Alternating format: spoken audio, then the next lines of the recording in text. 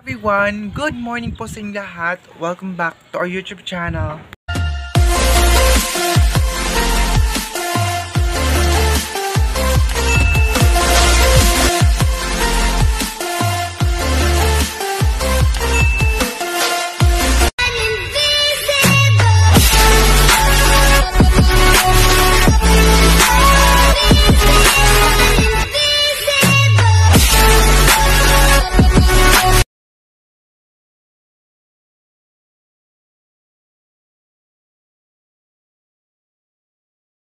Video sa mga bago pa sa channel, please huwag po kalimutan mag-subscribe at notification bell para ma-update ko kasi mga videos and don't forget to like, share and comment guys. Maraming maraming salamat po.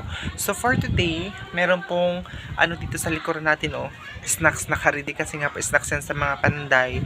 So nakapag-jacket tayo kasi gusto namin pumunta doon sa sakahan nila mama kasi mag-sorbet kasi nga po yung kalahating ano namin guys, mais ay may tubig na, na hindi na ako nakapunta-punta talaga doon kasi nasasad ako. Si Papa lang palagi nakapunta doon. Kasi alam niyo ba yung sakripisyo namin, nakita niyo ba mula sa simula yung pagtanim, hanggang lumaki, tapos may bunga na, tapos ngayon nabahaan. Parang ang sakit sa pakiramdam guys, pero wala tayong magawa dahil ganun talaga ang weather dito sa amin. Akala mo, hindi babaha, ganito ganyan, mga mga sabi-sabi na mag El Nino daw. Pero, dalawang araw lang, tatlong araw, wala na. Mataas yung tubig, o tingnan nyo, yung lupa dito, lupa, ang level ng lupa dito sa amin, ganun din ang tubig. So, napaka-stressful dahil yun talaga inaasahan talaga na sana namin na makagawa kami ng septic tank doon sa baba para makapag-harvest kami madeliver pero kaya sa mga nag naghahanap na meron kami CR pero wala pa kaming Poso de Negro, yung septic tank doon sa baba ay wala pa talaga dahil inuuna muna namin dito sa taas kasi mas mas makaya-kaya pa naman sa ano pero doon sa baba is malaki talaga siyang gastos kaya yun yung inaasahan namin pero ngayon hindi ko alam kung anong gagawin natin for today's video.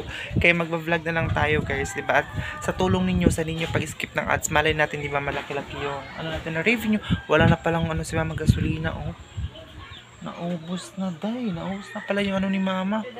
Gasoline station to. Ito pala yung ano guys, oh. Ayan, oh. may tinapay dito lang sa kapatid kasi hindi pa kami nakapunta ng bayan. And then, yellow na malapit na matunaw. Andun, andun sila mama. Kasi nag-ayos doon sa kitchen namin.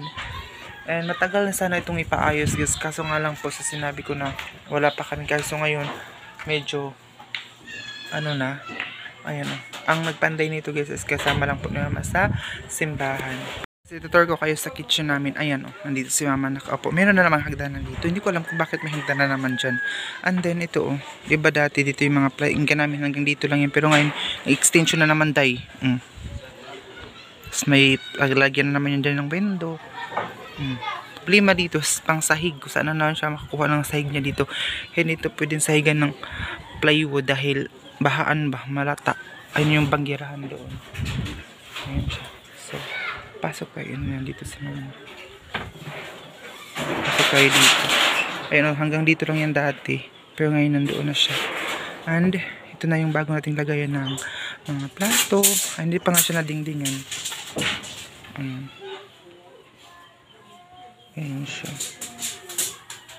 Pero ipapakita ko naman siya pag natapos na. Meron itong bintana doon. Ayun o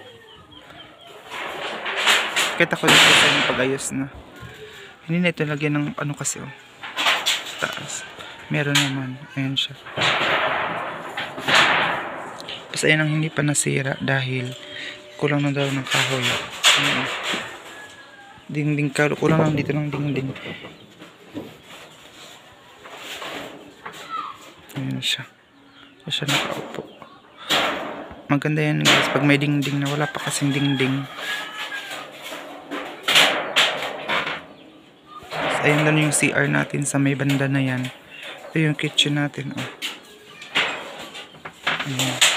Pasok mo dito. Dito mo na siya temporary kasi nga po inaayos pa siya. Ayan. Ayan. Yun yung butana ng cabinet para sa mga kung ano-anong ilalagay doon. Ang magalang sila. Bakit kung hindi ka tumawa kapag mag vlog Wala kasi ngipin si mama guys. Kaya hindi siya tumatawa. Nahiya siya dahil wala siyang ngipin. Ayun, ayun yung panday namin. Tapos, ayan siya yung yung man, sa ilalim na yun lagyan ng cabinet para doon lagay yung mga container at iba pa para hindi madumi tingnan. Yung mga gamit dito guys, ayan. Pag matapos na dito siya ilagay sa ilalim. Lagayan pa siya ng sahig. Hindi namin alam kung ano yung isahig namin dito kasi mabubulok siya kapag plywood. Doon, semento naman doon kasi labahan. Dito lang talaga ang ano kaya isahig dito. Ayan siya.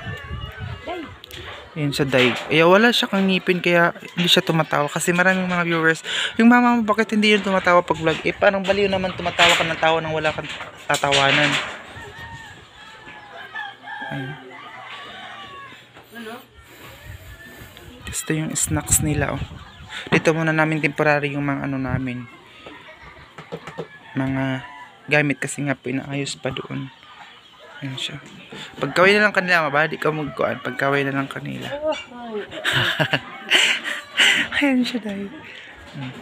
Kasi yung dati, hanggang sa taas talaga ang tubig na lat. Kaya ngayon hindi na namin ito inaayos tong sahig namin dito kasi mabaha naman dito. Hindi na ito pagandahin tong sahig dito sa baba. Kasi mabahaan lang naman eh. Yun oh. Yun yun ang hindi pa namin sinira kasi kapag sinira wala na kaming ma ma ano sa ingan kasi nga po kulang daw ng kahoy doon sa part na yan kasi kailangan matibay na makahoy ang ilagay doon ayan kaya hindi mo hindi mo na yun gigibain kasi nga po kapag magiba wala na kami maanuhan ayan ito Ayan, guys, thank you so much po talaga sa inyong lahat. So, kinuha na naman yung mga sinampay. Baka sabihin namin naman, ang dami yung mga sinampay. Lagi kasi umulan dito sa amin, kaya may mga sinampay-sampay talaga kayo. Ay, nang kita ay magko. Reverse straight ang. Hala, hilisin na ba ining kuan ma? Ilis na dyan. Di pa kami nakapunta talaga ng bayan. Ay. Kaya, dito lang ito natin. Pila ka isa halingan ni ma. Star, ang tawag dito sa amin, star bread na pinapay. Ayan siya. Star bread. So, hindi pa kaya nakapaligo. Kami na. Hindi pa nakaligo, day. Ayan. Ayan yung mga napakasipag. So, ayun guys, thank you sa mga blessings na ano, nakapa, ano na tayo doon sa kitchen natin, mapaayos na siya soon. Makikita nyo guys, dingding lang talagang kulang. Siguro mga sa susunod na araw may dingding na siya. I hope na madingdingan na talaga siya para makita nyo naman ang ano natin bahay na before tayo mag-aral guys, before ako wala dito sa bahay ay maayos ditong house nila mother. Ang kulang lang talaga namin kasi yung nandoon sa baba. Kasi ano na tayo, paano tayo maghukay-hukay? Yun na lang oh. Pabili lang tayo ng mataas na ano, yung ano pa tawag sana yung hose? Ano pa tawag? PVC. Lilinisan na lang yan. Yung balon natin dati. Tapos yun na lang ang Oo, tapos lagyan na lang siya ng PVC. Yun na lang ang, eh, para hindi na maghukay-hukay dahil, uy, mm, yun na lang ang gagamitin natin. So, pakita ko naman din sa, sa inyo dun sa baba. Mm. Huwag nyo ano yung ano namin kasi nga po. Doon lang kami nagsampay. Dito, ito mga sahig-sahig, mga tabla dito sa baba, ito lang ang temporary sahig namin sa kitchen kasi hindi natin pagandahin tong sahig dito guys. Kung may pera tayo, pagandahin pa natin magpapagabas tayo ulit. Pero pag wala na, ito na lang ipang sahig natin. Oh. Ah, kada, taod ba dahil mga kuan nga nima? Ha, no? Ah, may pangita ko nga mga tabla, ha? Ang mga na bagus tadi patro. Dito na naman yung mama natin Ellen guys. Nagbibenta na naman siya. Aday! Dito, uling hunigas. Day! Pakong hunigas ka. Ito na siya. Wait, panghatag iyan. Adi akong patang kay sunog. Tagpila ka eh ni. Tagsiyo ko. Trying. Saan kayo. Tagdaw ka. Yung gad mga, yung gad pang. Burn out yan kayo para may pakalantaran. Hala, kagrabe. Kagrabe mo ito guys. Palit na Bin yan. I-deliver na nga ito kuya yung mga salin-salin. mga salin-salin. Nakato sila may may kay maligya bang adtuhan eh. Mm-mm. Doon, dali na sila makabalik. Tagbo ka, ka. Uy, kadiyayo di ko yung chinilas mo. Bailuan kita. Pukpuk ka yan. Ito mga pukpuk ba niya, mga pagsuktok. Kuhan! Ang ice cream di ko dahil na mihalin. Tagbo ka. Kaya sila naman ligya, tulak pa. So, dito muna tayo. Wala mo na lang hala. Lang. TV na mo, kay makapatay-patay dyan ang charger. Kay? Charger. Kato ko yung mga salin-salin na. Ay, balik ko rin. mga salin-salin. Masalin-salin ra. So, ito na guys. Oh. Ito na ang gagawin namin. Oh, para hindi na kayo maghukay na hukay. Lilinisan lang ito dahil kasi umalalim naman ito. Pwede na ito dahil pwede na ito kalalim. Tapos, ang budget dito na lang talaga ang kulang. Yung hollow block and semento, ganun. Pero sa taas, okay naman siya. Dito na lang talaga sa baba. Kaya sa mga naghahanap, wala pa. Wala pa, day. Susunod pa. Huwag kayo excited. Huwag kayo excited. Uy, kasi hindi naman tayo mayaman. Mm-mm. Sa susunod na naman siya, yun nga, inaasa namin, pag makapag-harvest talaga kami, before namin yun, pero inuuna talaga namin yun na malagyan, wala pa nga, ano yung puti ba yung doon ka magpupo. Hindi na tayo magano ng ano kasi may magagalit na naman dito ang, ang ano ganyan ganyan. So ito oh. Ito yung balon namin na hindi na nakinisan, lilinisan ito. Tapos ito na ang lagyan ng semento para dito na lang i puso dinigro tapos papunta na yun na lang bibili lang kami ng PVC. Parang ganito oh. Na malaki ng ganito. So ito yung hinahanap ko. Oh, meron pa naman kahoy dito. So sinabi ko na kanina. Ayan. Ito ma, hindi naman ito nagagamit, guys. Oh. Marami pa naman ito mga ganito. Pero hindi na ito nagagamit. Kaya yung kitchen, yung lutuan, hindi, nagi, hindi siya nagiba pa sa ngayon. So yun talaga, I'm so very blessed and thankful kasi kahit hindi man ako nakapag-aral, late man ang pag-aaral natin guys, ngayon lang talaga napag-isipan kasi yun napagawaan ko ng bahay yung parent ko. I'm so, parang naiyak kayo ako. parang naiyak ako day. Mm. Nagpapasalamat ako sa Panginoon sa binigay niyang talento na makapag-vlog tayo. Sa support also ninyo guys. Hindi niyo pag-skip ng ads. Thank you so much po talaga ng bunga-bunga sa lahat ng mga taong sumuporta sa amin. Thank you so much. Siguro kulang ang thank you guys sa support ninyo. Pero I'm so blessed dahil nandyan talaga kayo. So ayan na. Sa ate, sa nagtatanong kung saan ang sifting tank namin wala pa dai. Ayan oh. Kasi kulang pa tayo ng budget. Sa susunod na naman yung mga, mga taon siguro. As, as long as na meron na tayong ano di, doon, yung masemento na doon sa taas at saka malagyan na siya ng hindi ko alam kung makabili pa ba kami ng ano yung wala na sigurong budget dai yung ang tawag dito comment kayo gusto kong mag, magkano yung ano yung libanganan ba yung iniduro ba yan yung puti yung doon, doon papasok yung ano, inidoro. Basta yung kulay. Hindi ko alam kung inidoro ba siya. Basta parang inidoro. Hindi ko alam kung makabili pa ba kami doon. Basta inuuna namin, masemento lang talaga yun para hindi mabasa yung sahig, hindi masira agad. Yun talagang inuuna namin. So, thank you.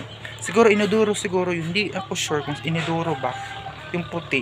Comment kayo kung magkano siya kasi parang para mabudgetan natin kung meron pa tayong budget. Pero pag wala na di wala na. Wala na.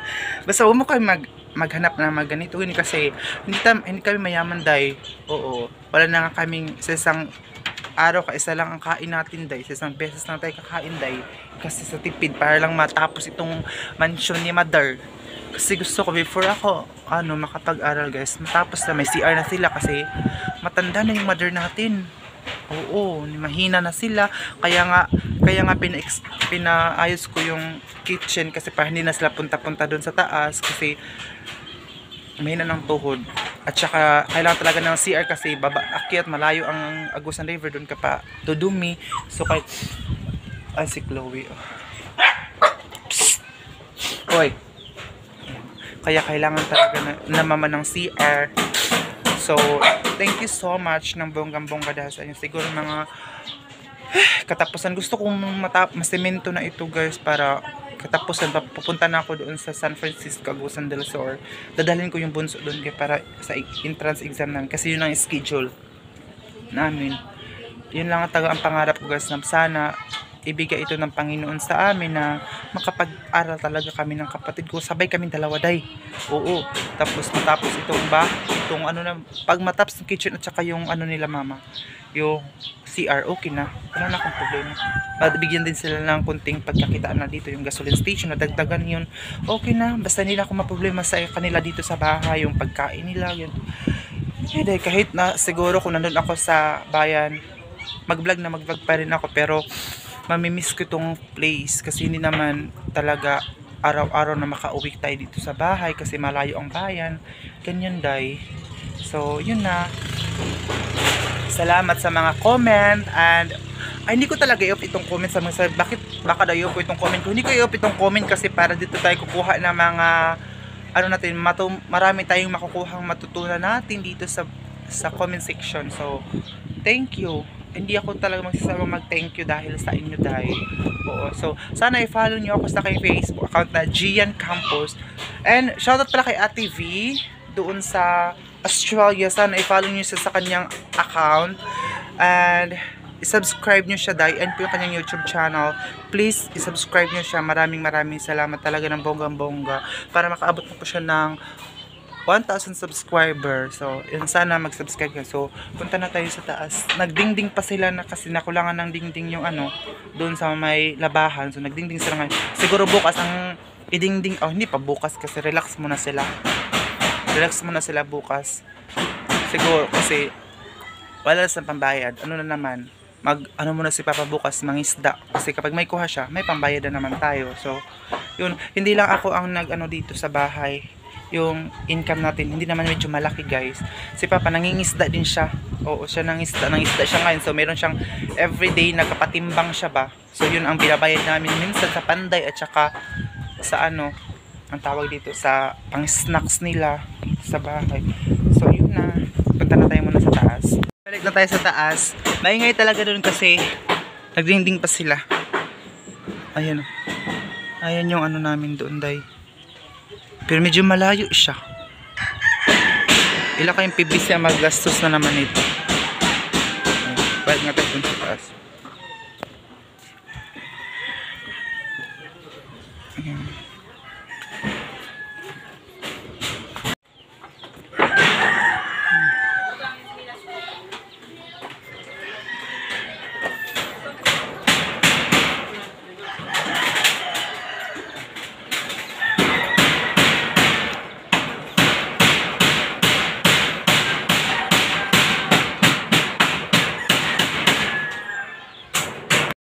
Nahilis ng ice. Ano na siya? Natunaw na. Natunaw na ice. So, ito pala yung bag. Nabigay ni Ate Mian. Tama ba? Ini ba? Bagay, bigay ni Ate Mian kay Mama. Thank you Ate Mian sa Australia sa Ate Mian. Yung followers natin Aileen, binigyan din si Mama ng bag. Thank you. And, napaka-fresh ng hangin ngayon, Day. Ayan siya. Ayan yung paligid. And then, naubos na pala yung gasolina ni mama kanina. Ayan. It's already 4 o'clock. Dito sa amin pagpanday hanggang 5 o'clock lang sila ng hapon ang panday dito. So, siguro, hindi ko alam kung bukas ay ay hindi sa sinabi ko na kanina hindi pala sila magpanday bukas kasi relax muna sila dahil susunod na naman po sila ng araw ang ating mga panzay so I hope you always support us to our family siguro bukas punta kami doon sa ano sa ka- hindi, hindi ako sure kung punta ba sa baka may lak, may ibang lakad po sila mama bukas. Pero gusto ko talagang bumisita doon kasi gusto kong kunin yung watermelon natin kasi parang hinog na yun day. Parang tama na yun yung watermelon na tanim namin. And yung ibang mga ampalaya baka tama na yun yung ampalaya baka ano na sila baka okay na. Baka pwede na siyang kainin yung mga ampalaya ganito paghapon sa amin oh. mga bata naglalaro doon. Kanina maulan pero ngayon wala na. Medyo mahina ang benta nito oh, itong ganitong gasolina. Sila papa oh. Happy sila dun sa taas. Nanood sila ng TV sana all happy ang parents. Sana all happy ang parents. Dahil hala mga ang dami pala mga pato namin oh. Saan saan pala pupunta itong mga pato natin. Kaya yung iba, imis not, imis not, ano ito guys, 14, nagiging 12 na lang. Ngayon, 2, 4, 6, 8, 9 na lang. Mhm. Hindi ko alam kung bakit tayo 2, 4, 6, 8, 9 na lang, Jud. Palagi siyang nakukuha-kuhaan. Wala nang puti, itim na lang lahat. Siguro kung tinali itong ano, mama nila, siguro hindi ito ma magaganyan. Nine na lang talaga siya dahil araw-araw nakukuhaan, araw-araw nakukuhaan. Hindi ko alam kung bakit anong nangyari sa kanila na bakit araw-araw silang nakukuhaan palagi. So, and guys, i-follow niyo ako sa aking Facebook account. Ayun po yung Facebook. Ayan guys. Thank you so much sa lahat ng mga nanonood. At saka, share niyo ang vlog natin ngayon. Thank you so much.